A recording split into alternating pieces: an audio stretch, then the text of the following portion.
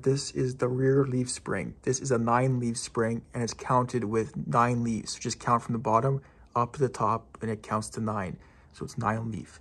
Moving down the board, we have two rear leaf spring U-bolts. Each thread has a nut, lock washer, and washer, but each nut is a special U-bolt clip nut. Make sure all four are installed on each thread of the U-bolts. Finally, moving to the right of the board, we have the lower shock mount plate. It's critical we get this installed correctly. This right here is the final product.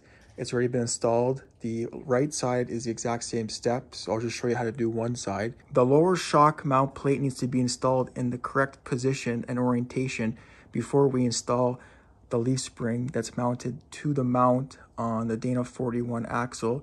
It has to be orientated with the tabs facing downwards and the part for the shock absorber that will attach to where my finger is pointing will be pointing towards the tire, so outwards, and then towards the front of the Jeep. Make sure the leaf spring is installed in the right orientation. It's critical that we have the part that will attach our threaded shackle facing towards the rear of our Jeep because we're working on the rear Dana 41 axle and the pivot eye bushing towards the front of the Jeep. Now install the leaf spring. When installing your 9 leaf spring into the mount on a Dana 41 axle, there'll be a little hole in the bottom of the mount and the bolt will go right through and it'll push flush against the mount. And now we'll drop on the two U-bolts.